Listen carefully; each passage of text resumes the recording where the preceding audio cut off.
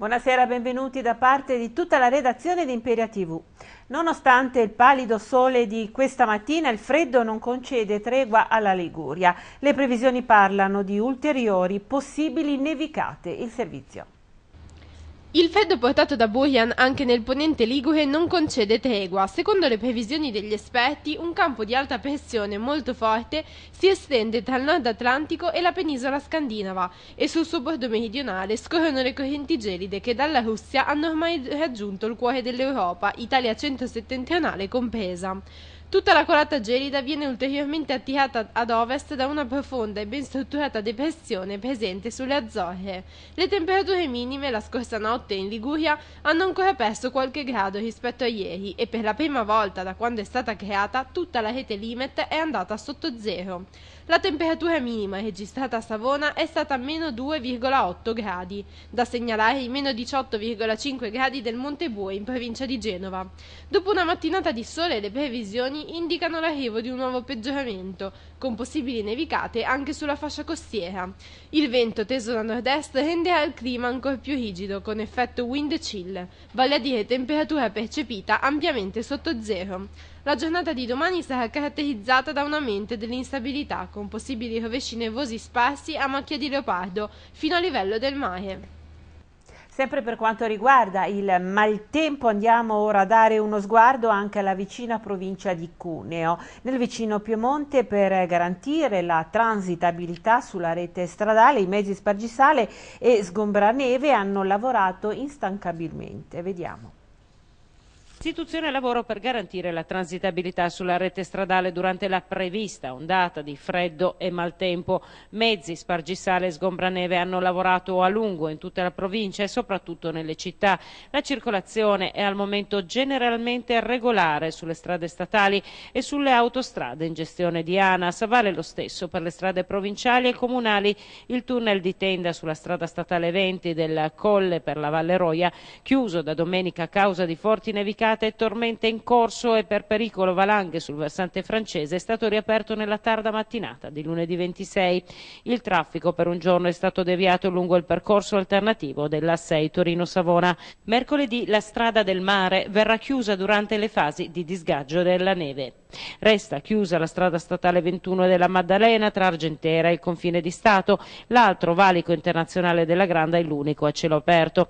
Ma anche se lunedì è tornato il sole, l'annunciato arrivo di temperature polari con punte fino a meno 18 gradi in quota ha portato alcuni sindaci a decidere nuove chiusure delle scuole, in particolare quelle frequentate da studenti e pendolari. Accade a Cuneo e Mondovido e martedì 27 e mercoledì 28 febbraio i sindaci hanno disposto la chiusura delle scuole superiori superiori. Il vento nordico Burian è già arrivato nella notte fra domenica e lunedì, facendo calare le temperature di 34,9 gradi sul Monte Rosa, meno 23,8 nel Parco delle Alpi Marittime e meno 18 a Entracque.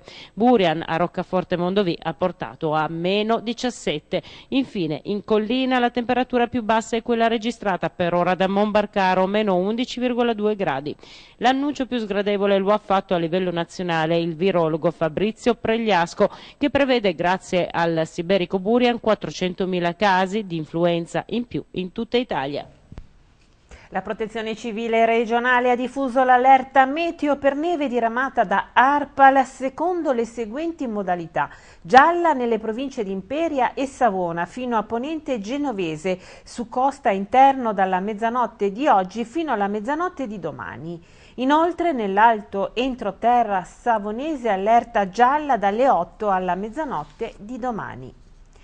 L'allarme per il gelo arriva anche dalla Coldiretti Liguria. L'associazione di categoria ha chiesto alla Regione la proclamazione dello stato di calamità naturale per i gravi danni subiti dalle colture, i particolari in un servizio.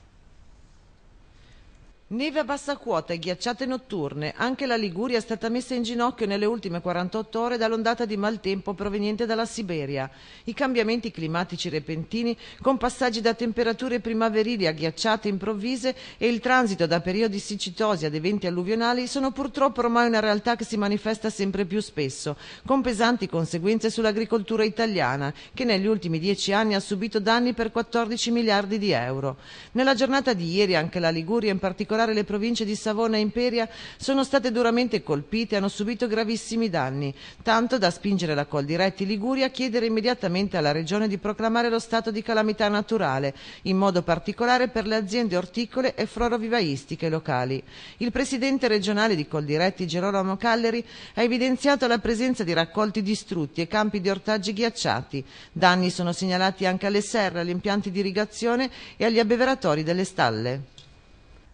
Un uomo di 47 anni, Massimo Scozzaro, è stato arrestato ieri sera dai carabinieri a Savona dopo che aveva sparato ad un coetaneo Enrico Pasquale dopo averlo atteso sotto casa in via al santuario. La vittima è stata ferita in modo grave con due colpi alle gambe e uno all'adome. I carabinieri di pattuglia nella zona hanno udito gli spari e sono subito intervenuti bloccando e disarmando l'aggressore.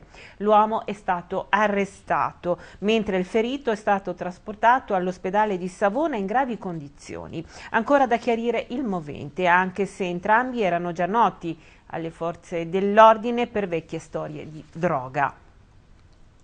Nuova operazione della Guardia di Finanza nel Tiguglio in contrasto al lavoro nero. Tre imprenditori sono finiti nelle maglie delle fiamme gialle e in un caso sono stati trovati tre lavoratori in nero, i particolari in un servizio. Nell'ambito dell'intensificazione dei controlli contro lavoro nero nel Tiguglio, i militari della Guardia di Finanza di Riva Trigoso hanno individuato tre lavoratori nero, di cui due extracomunitari, un cinese e un bengalese. Il dipendente extracomunitario bengalese risultava inoltre essere sprovvisto di regolare permesso di soggiorno. Il datore di lavoro è stato denunciato alla Procura della Repubblica di Genova per aver assunto i due stranieri irregolari e ora rischia la reclusione da sei mesi a tre anni e una multa di 5.000 euro. In altri due casi sono state invece elevate sanzioni da 1.500 a 9.000 euro ciascuno ciascuna nei confronti di datori di lavoro con diffida assumere il dipendente per almeno 90 giorni consecutivi. L'azione della Guardia di Finanza nello specifico settore non punta solo al recupero delle imposte e di contributi evasi, ma anche a individuare e reprimere casi di sfruttamento dell'immigrazione clandestina e di manodopera irregolare. Due agenti della polizia stradale di Imperia sono rimasti feriti in modo lieve in un incidente avvenuto nella tarda mattinata di oggi lungo l'Autofiori. In particolare si è verificato un tamponamento fra la loro auto di servizio e un camion tra San Bartolomeo al Mare ed Andorra in direzione Genova. I due poliziotti sono stati portati in ospedale per accertamenti e il traffico ha subito dei rallentamenti.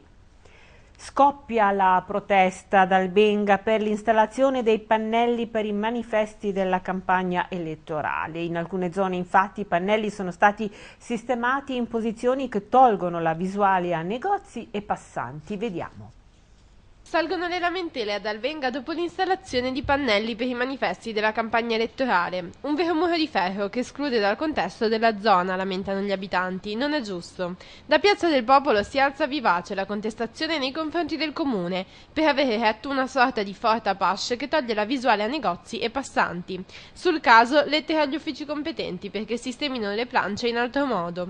Pochi manifesti affissi e la presidente della Confcommercio in Gauna, Lorenza Giudice, interviene per difendere i suoi associati. Tutto potrebbe essere sistemato in maniera diversa, senza creare disagi. Mi auguro che l'assurdo non rimanga anche nel periodo pasquale, altrimenti sarebbe veramente un guaio. I commercianti chiedono buon senso da parte dell'amministrazione e un intervento immediato. Il consigliere comunale imperiese Antonio Russo, ex appartenente al Movimento 5 Stelle, ha rassegnato le dimissioni dal Parlamentino. Russo ha legato la sua decisione al mancato raggiungimento degli obiettivi in tema di raccolta differenziata. Vediamo. L'ex capogruppo del Movimento 5 Stelle nel Consiglio Comunale di Imperia, Antonio Russo, 64 anni, a tre mesi dalle elezioni ha deciso di abbandonare il suo scranno nel Parlamentino imperiese. Russo ha infatti depositato le sue dimissioni nell'ufficio protocollo di Palazzo Civico, mettendo così termine alla sua avventura politica che era iniziata nel 2013, quando si era candidato a sindaco per i Pentastellati, trovando il supporto dello stesso Beppe Grillo, che all'epoca aveva tenuto un comizio in Piazza Dante in suo sostegno. In seguito Russo è uscito dal Movimento 5 Stelle ed è entrato nel gruppo misto, aderendo poi al gruppo di lavoro per il progetto Rifiuti Zero. Per la sua stessa affermazione, proprio quel progetto, teso a portare al 75% la raccolta differenziata, era rimasta l'unica motivazione che lo teneva legato al Consiglio Comunale. Vedendo allontanarsi questo obiettivo, Antonio Russo ha deciso di dimettersi. Ed ora facciamo una piccolissima pausa, a fra poco con altri servizi.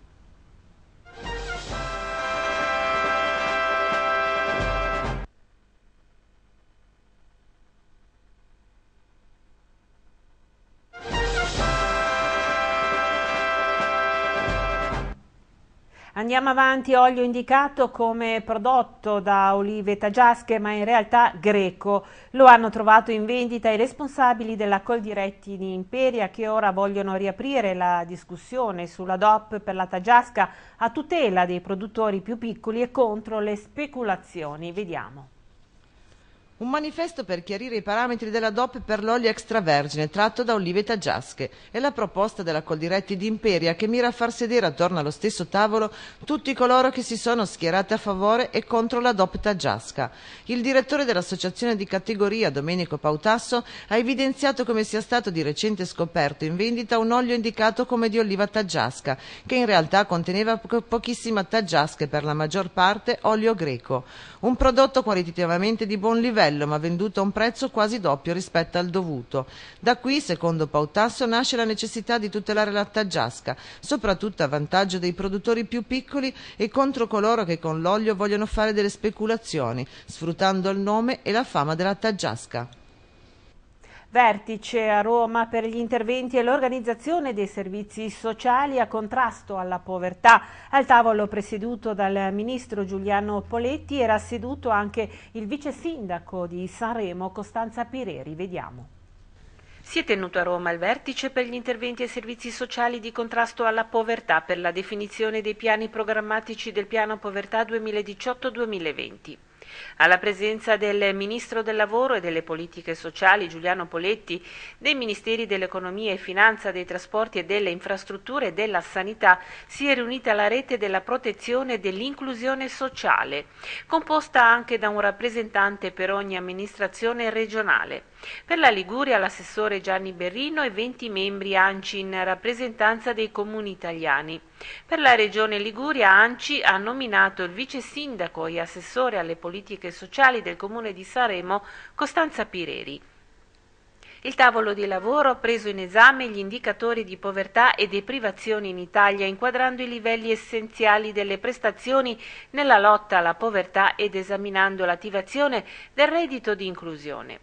Gli orientamenti, spiega il vice sindaco Pireri, sono per attuare progetti sempre più personalizzati attraverso il contributo di un'equipe multidisciplinare, cercando di superare un generico assistenzialismo in favore di percorsi mirati sugli utenti volti al loro reinserimento sociale. Tale obiettivo, che rientra nell'ambizioso progetto di rimodulazione delle politiche sociali verso la povertà nel prossimo triennio, dovrà necessariamente essere supportato da un rafforzamento delle risorse umane dei servizi sociali dei comuni.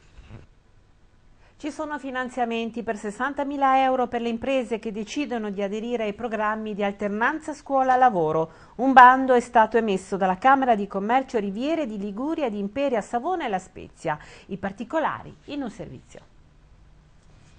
Contributi alle imprese che attivano percorsi di alternanza scuola-lavoro. Li mette a disposizione la Camera di Commercio Riviere di Liguria, punto di riferimento per i progetti di alternanza in quanto ponte tra imprese e scuola.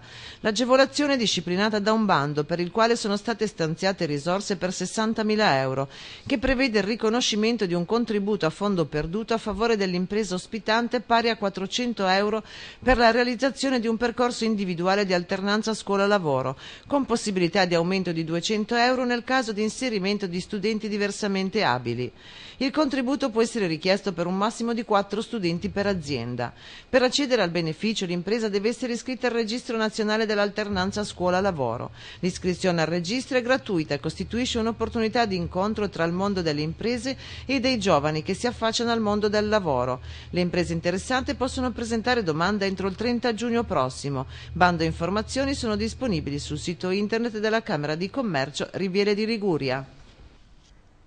Ha preso il via la quindicesima edizione del Monte Carlo Film Festival della Comedì, l'evento ideato e presieduto da Ezio Greggio.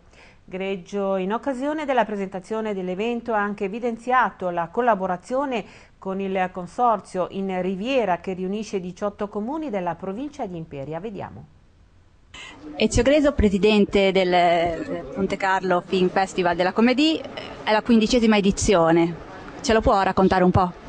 Certo, intanto viene dopo la quattordicesima e prima della sedicesima, adesso ci tenevo a precisarlo, ma eh, sarà una bella edizione perché ha eh, una qualità di film straordinaria, molti sono addirittura anteprime mondiali, eh, ce n'è una americana, partono apposta dagli Stati Uniti e vengono da noi per mostrare in anteprima questo film, vuol dire che insomma, il festival anche oltreoceano ha preso piede, eh, c'è molta comunicazione che viene fatta al di fuori del eh, territorio ovviamente di Monaco, l'Italia, la Francia, ma anche di altri paesi e quindi grande soddisfazione, tanti ospiti e poi un presidente di giuria come Claude Lelouch che per noi è, ci onora e, ed è un bel ritorno, era già stato premiato tempo fa. E noi, che nel piccolo della nostra provincia di Imperia, sappiamo che 18 comuni eh, del Consorzio in Riviera quest'anno parteciperanno al suo festival. Com'è nata questa collaborazione? Beh, nasce da questo rapporto di amicizia che ho con eh, il sindaco Fulvio Gazzola e tanti altri sindaci dei comuni qui limitrofi a Monaco e mm, chi ci hanno fatto questa bella sorpresa si sono riuniti con, in Riviera e, e porteranno i loro prodotti in una delle nostre serate che private che dedichiamo ai partecipanti del festival. Quindi eh, colgo l'occasione per ringraziare tutti i sindaci e salutare tutti gli abitanti di questi 18 comuni e degli altri comuni della Riviera. Siete invitati a vedere anche il suo festival? Assolutamente sì, i film sono, eh, sono entrata libera per cui basta venire al Grimaldi Forum un po' presto perché la sala poi si riempie in fretta e quindi non vorrei far fare chilometri alla gente e poi dopo magari non trovi posto. Invece c'è il galà il sabato sera, lì bisogna prenotare il biglietto e quindi se uno lo prenota poi il posto ce l'ha sicuro. Grazie, Grazie a voi. Grazie. Sindaco Gazzola qui per rappresentare il consorzio in Riviera. Sì, eh, grazie all'amico Ezio Greggio abbiamo avuto la possibilità di far parte anche noi di questa organizzazione, quindi il venerdì sera dove ci sarà una festa dove saranno ospiti gli attori, i registi e i giornalisti di questa, di questa quindicesima edizione, il territorio della zona intermedia, quindi 18 comuni compreso Ospedaletti, avranno il piacere di far assaggiare le nostre tipicità dei nostri prodotti e con questo presentare quello che è il nostro territorio, quello che è parte della nostra offerta turistica che appunto è il prototipico e la, e la cucina. Eh, l'ambasciatore italiano a Monaco, quanto è vicina Monaco al Consorzio Riviera appena nato? Naturalmente come tutte le iniziative che promuovono quella che l'eccellenza italiana, in questo caso l'enogastronomia, ma anche tutti i percorsi turistici che vogliamo far conoscere nel mondo, l'occasione del Film Festival è assolutamente propizia, quindi ben venga anche questa iniziativa che appoggiamo senza riserve. Quindi una vetrina internazionale qui nel Principato di Monaco per eh, l'Italia, in particolare per il nostro ponente.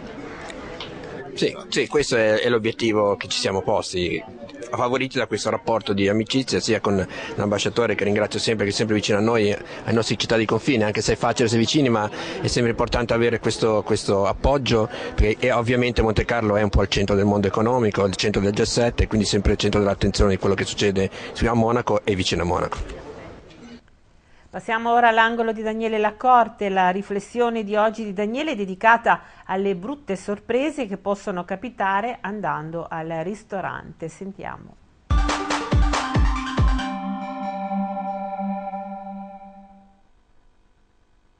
Sedersi al ristorante magari attendere più del previsto e guardarsi intorno per capire i segreti del locale L'occhio curioso scruta quando per la prima volta si sceglie il posto di ristoro senza magari informarsi prima. Un bel rischio anche ai giorni nostri, dove molti si improvvisano ristoratori, magari attratti dal master chef ripetutamente visto in televisione. Non tutti controllano le guide più o meno stellate, non tutti possono permettersi il locale chic e allora i rischi salgono e pur scrutando tavoli e cameriere non sempre si riesce a scoprire cosa si nasconde in cucina. La cinematografia è ricca di episodi sconcertanti con protagonisti cuochi e camerieri.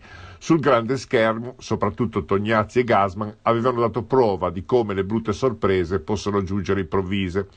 Una delle tante brutte storie emersa nei giorni scorsi a Torino, dove in un ristorante etnico i vigili urbani hanno trovato il frigorifero della cucina strapieno di alimenti in compagnia di famigliuole di scarafaggi, ma tanti scarafaggi, multa da 3.000 euro ai proprietari e sequestro di 559 confezioni di pesce e carne la vicenda fa venire il voltastomaco, ma non è isolata. Altre indagini sono in corso in tutta Italia. Viene spontanea la raccomandazione: non fidatevi dell'apparenza. Anche un piatto presentato bene può nascondere una storia da voltastomaco. A questo punto evitiamo di darvi il buon appetito.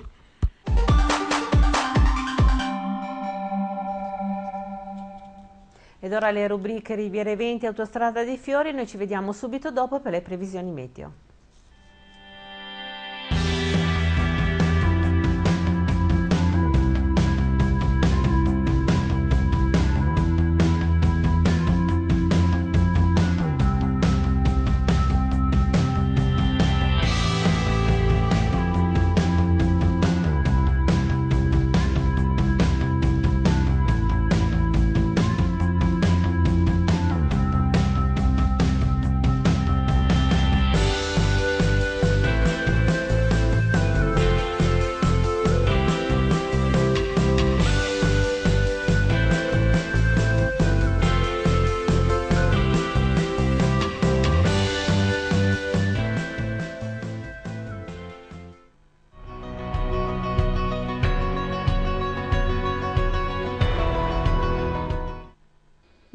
Indichiamo solo i cantieri che in situazioni particolari potrebbero creare rallentamenti al traffico sul tratto della A10 Savona confine di Stato.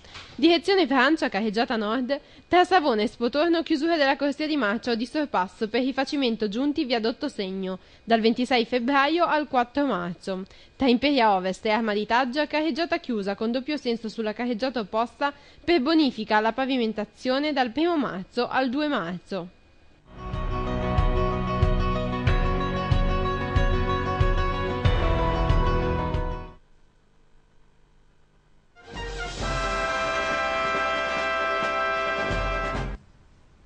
Le previsioni meteo a cura di ARPA Meteo Liguria, domani è mercoledì 28 febbraio. Progressivo aumento della nuvolosità a partire da ponente. Sul centro ponente, sin dalle prime ore della notte, probabili precipitazioni nevose anche a carattere di rovescio, con spolverate sulla costa e deboli nevicate nell'interno. Temperature ancora rigide e gelate. Umidità sui valori medi. Venti in mattinata deboli orientali a levante fino a moderati settentrionali a ponente. Nel pomeriggio in rotazione rotazione e rinforzo dai quadranti settentrionali, mare in aumento fino a molto mosso a ponente, mosso a levante.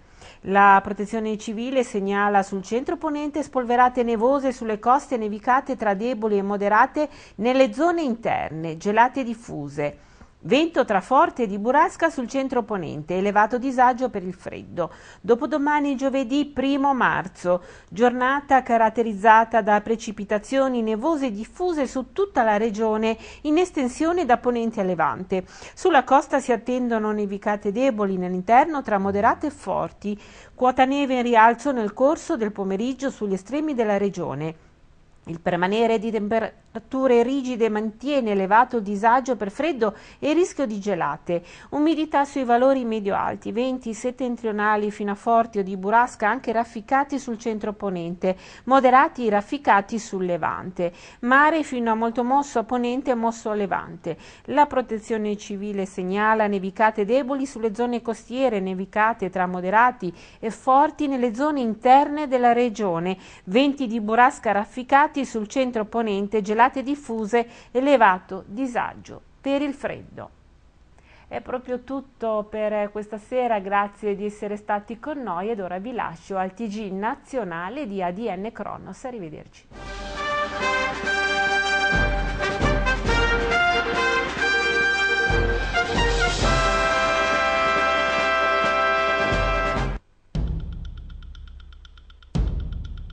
Sesso in cambio di aiuti in Siria, Napoli in tilt per la neve, poste 10.000 assunzioni in arrivo.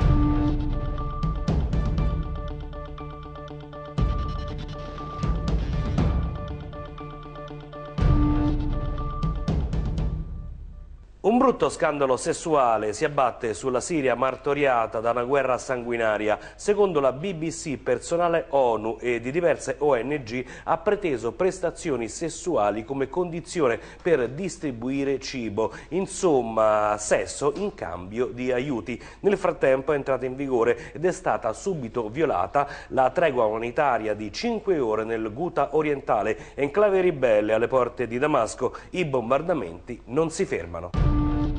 Dopo Roma il gelo siberiano si abbatte su Napoli, sorpresa da una copiosa nevicata, bloccati i voli in partenza e in arrivo da Capodichino, chiuse le scuole, trasporto pubblico in tilt, rallentata la circolazione ferroviaria, ma il tracollo termico interessa tutto il paese, meno 36 gradi sul Monte Bianco, tanti disagi nelle zone terremotate, un senza tetto è deceduto a Milano per il freddo. E da giovedì è prevista una nuova ondata di maltempo. Poste Italiane prevede l'assunzione di 10.000 persone da qui ai prossimi 5 anni, dopo l'uscita di circa 15.000 persone. Delle 10.000 nuove figure professionali, la metà sarà composta da esperti in ambito finanziario e assicurativo. L'infortunio al Class del Paris Saint-Germain Neymar preoccupa e non poco i tifosi del club parigino in vista degli ottavi di Champions League contro il Real Madrid, ma dall'entourage del giocatore trapela un barlume di speranza. L'infortunio è meno grave di quanto previsto. E per questa edizione è tutto, grazie per essere stati con noi. Per ulteriori aggiornamenti basta collegarsi come sempre al sito adnkronos.com. Arrivederci dalla redazione sezione web.